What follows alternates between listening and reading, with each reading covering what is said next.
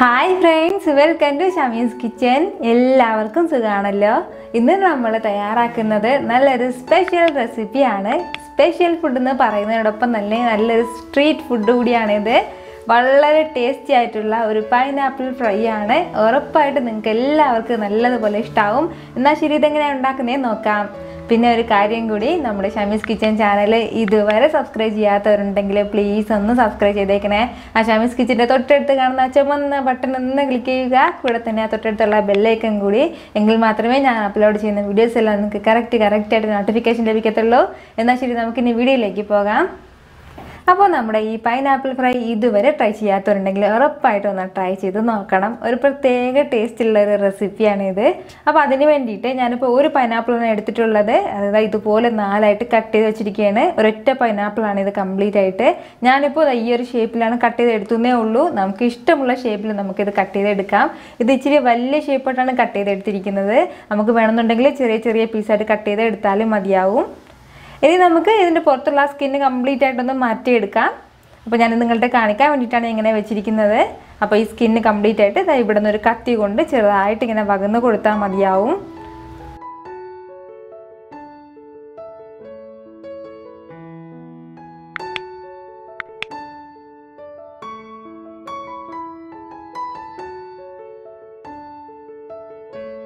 നമ്മുടെ പൈനാപ്പിളിന്റെ സ്കിന്നെല്ലാം റിമൂവ് ചെയ്ത ശേഷം ഞാനിപ്പോൾ അത് ഇതുപോലെ കട്ട് ചെയ്ത് മാറ്റി വെച്ചിട്ടുണ്ട്. അതുപോലെ തന്നെ അതിന്റെ സെന്ററിലുള്ള ആ സ്റ്റിക്ക് ഉണ്ടല്ലോ അത് ഞാൻ കട്ട് ചെയ്ത് മാറ്റിയിട്ടുണ്ട്. ഇത് നമുക്ക് ആവശ്യമില്ല. അതിന്റെ പേരാണ് അതും കട്ട് ചെയ്ത് മാറ്റിയിട്ടുള്ളത്. അപ്പോൾ ഇത് ഇത്രയും മതിയാവും. ഞാൻ പറഞ്ഞതുപോലെ ഈ ഒരു ഷേപ്പ് തന്നെ വേണമെന്നില്ല ചെറിയ ചെറിയ പീസ് ആയാലും മതിയാവും. ഞാനിപ്പോൾ ഇങ്ങനെ എടുത്തുന്നേ ഉള്ളൂ. അപ്പോൾ ഇത് ഇത്രയും ആയിക്കഴിഞ്ഞാൽ പിന്നെ നമുക്ക് വേണ്ടത് ഇതിലേക്ക് ചേർക്കാനുള്ള മസാലയാണ്. വളരെ സിമ്പിളായിട്ട് പെട്ടെന്ന് തയ്യാറാക്കി എടുക്കാൻ പറ്റുന്ന ഒന്നാണിത്.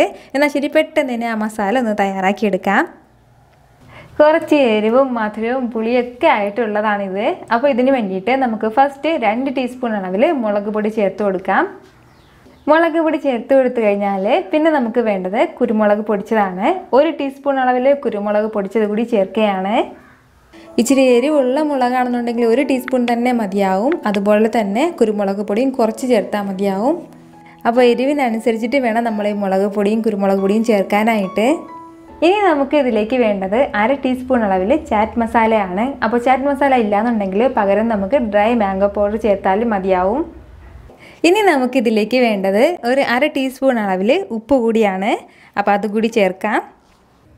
ഇനി നമുക്കിതിലേക്ക് വേണ്ടത് പഞ്ചസാരയാണ്. ഞാനിപ്പോൾ ഇതിലേക്ക് മൂന്ന് ടേബിൾ സ്പൂൺ അളവിൽ പഞ്ചസാര ചേർത്ത് കൊടുക്കുകയാണ്. അപ്പോൾ നമ്മുടെ ഷുഗർ കൂടി ചേർത്ത് കൊടുത്തു കഴിഞ്ഞാൽ പിന്നെ നമുക്കിതിലേക്ക് വേണ്ടത് ഒരു ടേബിൾ സ്പൂൺ അളവിൽ ലെമൺ ജ്യൂസാണ് ഞാനിപ്പോൾ ഒരു ചെറിയ നാരങ്ങ എടുത്തിട്ടുണ്ട്. ആ ഒരു നാരങ്ങ ഇതിലേക്ക് ഇപ്പോൾ ചേർക്കുകയാണ്. പൈനാപ്പിൾ എന്ന് പറഞ്ഞാൽ സാധാരണ ഇച്ചിരി പുളിയുള്ളതാണ്. പക്ഷേ ഇരുന്നാലും നമ്മൾ ഈ ലെമൺ ജ്യൂസ് കൂടി ചേർക്കണം. എങ്കിൽ മാത്രമേ ആ കറക്റ്റ് ടേസ്റ്റ് നമുക്ക് കിട്ടത്തുള്ളൂ. അതിന്റെ പേരിലാണ്. അപ്പോൾ മിക്സ് ചെയ്ത് എടുക്കാൻ വേണ്ടിയിട്ട് വേണമെന്നുണ്ടെങ്കിൽ ഒരല്പം വെള്ളം കൂടി ചേർത്ത് കൊടുക്കാം. എന്നിട്ട് നന്നായിട്ടൊന്ന് മിക്സ് ചെയ്യാം. മിക്സ് ചെയ്ത് എടുക്കുമ്പോഴത്തേക്കും ഈ പഞ്ചസാര എല്ലാം നന്നായിട്ട് മെൽറ്റ് ആവണമെന്നൊന്നും അങ്ങനെയൊന്നും ആവശ്യമില്ല. ഈ മസാലയൊക്കെ നന്നായിട്ടൊന്ന് മിക്സായി കിട്ടിയാൽ മാത്രം മതിയാവും. ഈ ഒരു രീതിയിൽ വേണം നമുക്കിത് കിട്ടാനായിട്ട്. ഇത്രയും തിക്കായിട്ട് വേണം നമ്മുടെ ഈ മിക്സ് ഇരിക്കേണ്ടത്. എന്നാൽ ശരി ഇത് ഇത്രയും മതിയാവും. ഇനി നമുക്ക് പെട്ടെന്ന് തന്നെ നമ്മുടെ പൈനാപ്പിൾ ഫ്രൈ തയ്യാറാക്കി എടുക്കാം നമ്മുടെ പൈനാപ്പിൾ ഫ്രൈ തയ്യാറാക്കി എടുക്കാനായിട്ട് ഞാനിപ്പോൾ ഒരു പാൻ വെച്ചിരിക്കുകയാണ്. ഇതിലേക്ക് നമുക്ക് ഒരല്പം ബട്ടർ പൊട്ടി കൊടുക്കാം. ഇതിപ്പോൾ ഞാൻ ഒരു രണ്ട് മൂന്ന് ടീസ്പൂൺ അളവിൽ ബട്ടർ എടുക്കുന്നുണ്ട്. ബട്ടർ ഇല്ലാന്നുണ്ടെങ്കിൽ പകരം നമുക്ക് ഓയിലായാലും മതിയാവും. അല്ലാന്നുണ്ടെങ്കിൽ ഗീ ആയാലും മതിയാവും.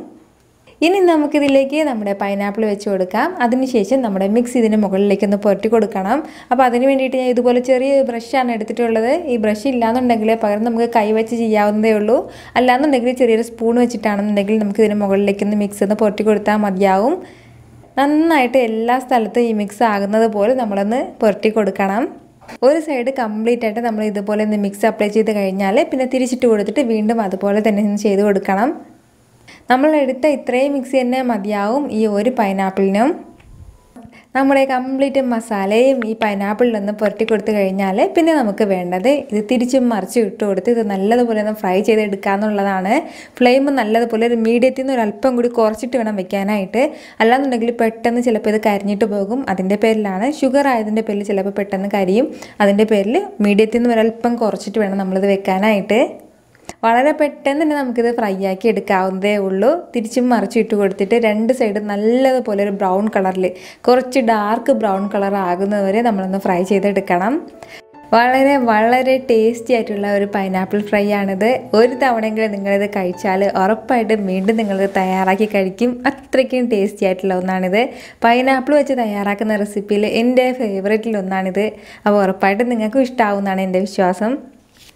ഇതുപോലെ തിരിച്ചും മറിച്ചിട്ട് കൊടുത്ത് വേണം നമ്മളത് ഫ്രൈ ചെയ്തെടുക്കാനായിട്ട്. ഇപ്പോൾ നമ്മുടെ പൈനാപ്പിൾ രണ്ട് സൈഡും നല്ല ബ്രൗൺ കളറിൽ വന്നിട്ടുണ്ട്. ഈ ഒരു രീതിയിൽ വേണം ഇത് ഇരിക്കാനായിട്ട്. നമുക്കിനി ഇത് ഇങ്ങനെ തന്നെ കഴിക്കാവുന്നതേ ഉള്ളൂ. അല്ലാന്നുണ്ടെങ്കിൽ ഇതുപോലെ ഒരു സ്റ്റിക്ക് എന്തെങ്കിലും ഉണ്ടെങ്കിൽ ആ സ്റ്റിക്ക് വെച്ചിട്ട് നമ്മളിതൊന്ന് സെന്ററിൽ കൂടെ ഒന്ന് കുത്തി വെക്കുകയാണെന്നുണ്ടെങ്കിൽ ആ സ്റ്റിക്കിൽ പിടിച്ചിട്ട് തന്നെ നമുക്ക് കഴിക്കാൻ ഈസിയാണ് അപ്പോൾ കയ്യിലൊന്നും ആകാതെ ഇരിക്കും. നമ്മൾ ഫാമിലിയൊക്കെ ആയിട്ട് പുറത്തേക്കൊക്കെ പോകുന്ന ടൈമിൽ ഇതുപോലെ പൈനാപ്പിളൊക്കെ ഫ്രൈ ചെയ്തിട്ട് ബോക്സിലൊക്കെ ആക്കിയിട്ട് അതൊക്കെ കൊണ്ട് പുറത്തേക്കൊക്കെ പോയി കഴിക്കാനൊക്കെ വളരെ രസമുള്ള കാര്യമാണ്.